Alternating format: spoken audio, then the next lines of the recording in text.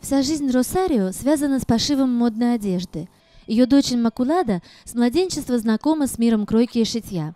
El hecho de, de seguir los pasos de mi madre ha sido porque lo he vivido desde pequeñita. Росарио работает портнихой уже более 30 лет. Сейчас она возглавляет фирму по пошиву модной одежды и экспортирует одежду для детей и будущих мам. En Reino Unido, Portugal, México. Ее дочь тоже продает свою коллекцию детской одежды по всему миру. Обе они работают в своем родном городке с населением всего в 4000 жителей. México, a Estados Unidos, a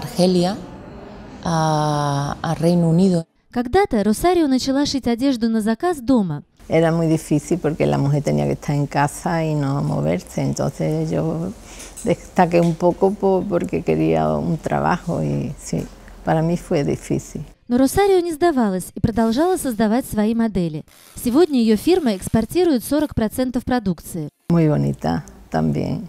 Ella tiene mucho estilo.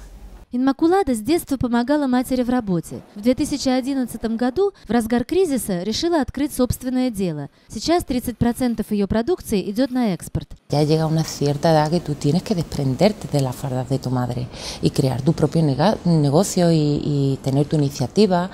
Две женщины, два поколения успешных предпринимателей в семье. У Инмакулады впереди множество планов. Росарио подумывает о заслуженном отдыхе. В этом году она собирается передать руководство фирмы в руки своего сына Хосе Антонио.